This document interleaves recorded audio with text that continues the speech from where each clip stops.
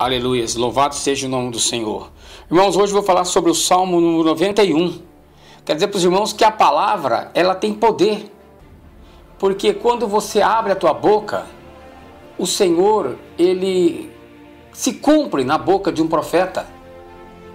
Então, eu vejo no Salmo 91 um poder muito grande na palavra. Porque tudo aquilo que sai dali, ele se realiza. Ele se transforma em nossa vida. Eu quero dizer para os irmãos que o Salmo 91, um dos mais belos salmos, salmos da Bíblia, Salmo 91, número 1, aquele que habita no esconderijo do Altíssimo, a sombra do Onipotente, ele descansará. Direi do Senhor que ele é o meu, meu Deus, o meu refúgio, a minha fortaleza, e nele confiarei. Porque ele me livrará do laço do passarinheiro e da peste perniciosa. Ele me, co me cobrirá com as suas penas, e debaixo das suas asas eu estarei seguro. E a sua verdade, para mim, ele é escudo e bloqueio.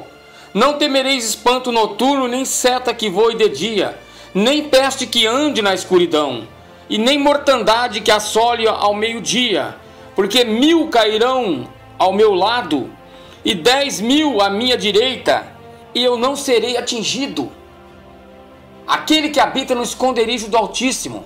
Irmãos, reflete sobre um tema singular: a proteção de Deus sobre o justo. A confiança em Deus é como um escudo que reflete todos os tipos de perigos. O salmista descreve no Salmo 91 todos os perigos que estão presentes no mundo. Alguns são espirituais, o laço do passarinheiro, enquanto que outros são de origem física, que é a peste perniciosa. Alguns podem ser de origem psicológica, podem estar somente na nossa psique, na nossa imaginação, por exemplo, o terror de noite. Mas há perigos que são reais. A seta que voa de dia, ainda que há os que são inesperados. A peste que anda na escuridão. E há perigos que são impossíveis de, de evitar, irmãos. Mortandade que assola ao meio-dia. Mas aqueles que colocam a sua confiança em Deus, promete a sua palavra, estão protegidos de todos eles.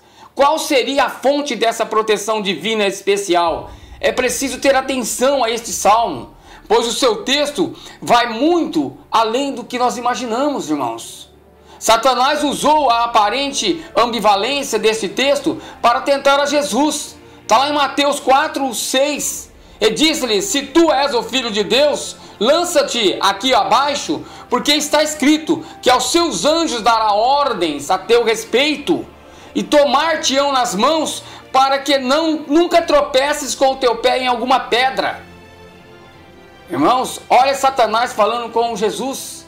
Vamos primeiramente ler o Salmo, ler o, o Salmo 91 em português e também em outras línguas, se você fala em línguas. Eu quero dizer para os irmãos que esse salmo ele é muito valioso.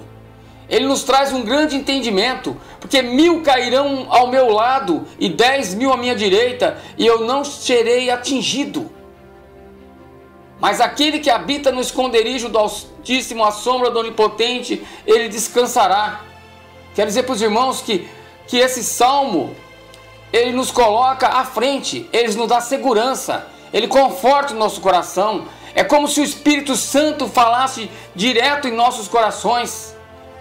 Vamos agradecer ao Senhor por tudo que a gente tem recebido dele, por tudo que tem falado. O Senhor tem deixado a Bíblia, a palavra de Deus, os mandamentos, para que nós possamos nos livrar de todos os mal, de tudo aquilo que o inimigo tem nos tentado.